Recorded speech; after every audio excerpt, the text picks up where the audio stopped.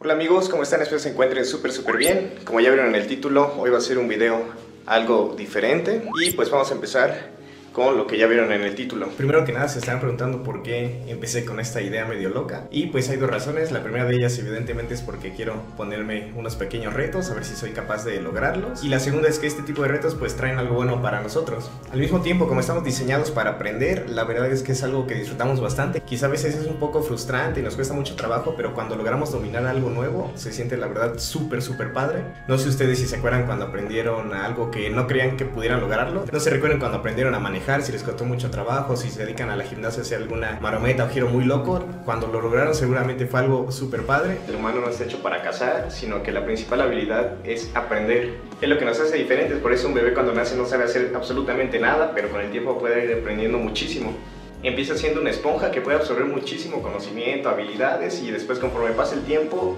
se puede decir que el cerebro se va haciendo flojo o va olvidando algunas cosas, entonces es importante mantenerlo activo. Quizá lo que voy a aprender ahorita no tiene nada de utilidad, pero pues sí nos lleva por este viaje en el que no sabemos absolutamente nada y al final tenemos una nueva habilidad o un nuevo aprendizaje. Y la verdad es que últimamente había sido bastante flojo en eso de aprender cosas nuevas, me ponía de malas. Incluso había cosas que solamente porque yo no quería no intentaba aprender. Ahorita ya va algo de tiempo en el que no aprendo nada, nada nuevo, entonces pues quiero ver cómo estoy de habilidad y vamos a ponernos a prueba. ¿Y por qué vamos a empezar con esto de lanzar cartas? La verdad es que mi primera intención era hacer malabares. Aquí tengo mis tres pelotas, pero esto ya lo había empezado a practicar desde años atrás. La verdad todavía no lo domino muy bien, que digamos. Pero eso sería un poco hacer trampa porque yo quería empezar con algo que no tenga idea de nada y jamás antes lo haya intentado. Pero si en otro momento voy a dedicarme a dominar esto de malabarear. A mí me gusta la magia, la verdad me sé solamente como tres trucos, pero pues aquí les voy a enseñar uno. Por ejemplo, piensen en una carta. Es esta, ¿no? Ok, ¿no es? Es que esa es mi carta favorita. Pero ahora sí les voy a adivinar su carta, que es esta. ¿Tampoco es? Bueno, esa en realidad solo fue probabilidad porque son las dos cartas más escogidas normalmente. Y esto de lanzar cartas se me ocurrió porque viendo una de mis caricaturas favoritas me acordé como un personaje llegaba y con una carta rompía candados o cosas así muy locas. Pues ya vi que había personas con la habilidad de lanzar cartas con muchísima precisión y pues me dieron ganas de intentarlo. Y la verdad es que sí he utilizado cartas, pero los trucos de magia no tienen que ver mucho con cartas, o al menos no con hacer movimientos locos y cosas así. Entonces es verdad que estamos en cero con esta habilidad. No he intentado ahorita todavía lanzar ni siquiera una carta. Entonces vamos a empezar y a ver si al final sí logro dominar y lanzar una carta, algo como una manzana o algo así. Aprendiendo a lanzar cartas en 3, 2, 1, ahora.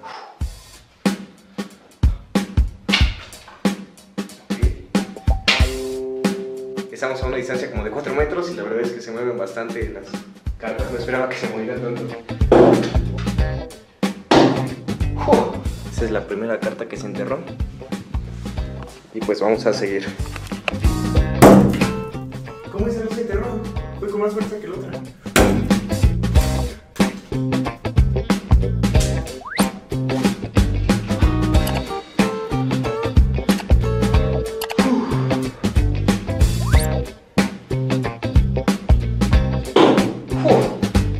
Lo único es que sí duele un poco el brazo de lanzar. No estoy acostumbrado a esto.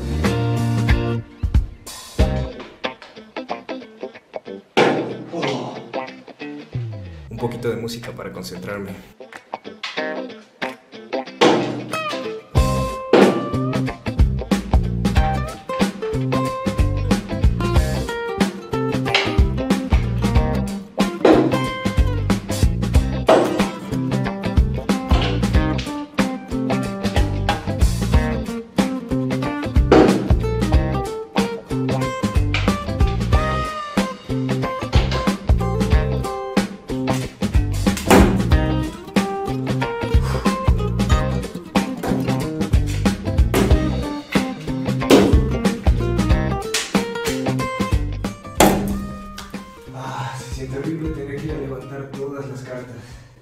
Como les había dicho, las puntas de esta baraja de cartón ya se están abriendo un montón.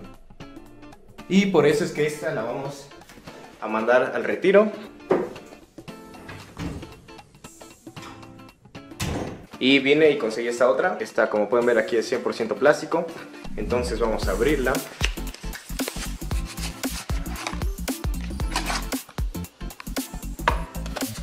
Y pues aquí está no la he utilizado para nada, sigue bien ordenada. Y vamos a ver ahorita cómo nos va con esta que es de plástico. Entonces vamos a darle a ver cómo nos va. Ya tenemos que tener un poco más de práctica.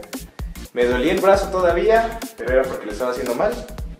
También ya vi. Y el secreto es que yo la agarraba así. Entonces tenía que cortar el aire la carta sola. Entonces ahorita ya le estoy cortando yo el aire desde antes, agarrándolo así. Entonces, entonces vamos a empezar a ver cómo nos va.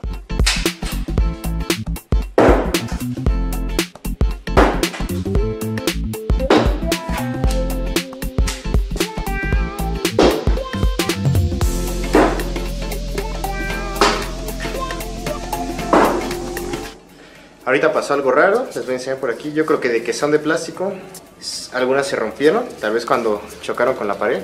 Miren. De la orillita.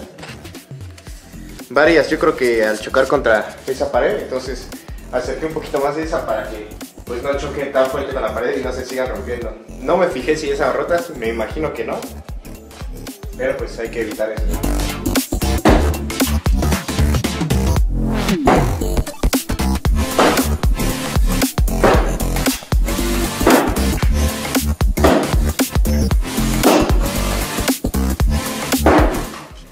Definitivamente es más cansado recoger esas del piso, son súper delgaditas, yo creo que más que las de papel.